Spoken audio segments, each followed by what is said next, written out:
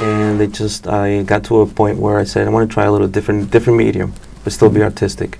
So I picked up the camera, I started taking pictures, and um, it just I felt that it needed a little bit more than just the the normal street New York pictures. Then I have the collaboration with someone, for instance, and then from that creation is it comes about because of the the, the individual that that I'm working Uh-huh. with.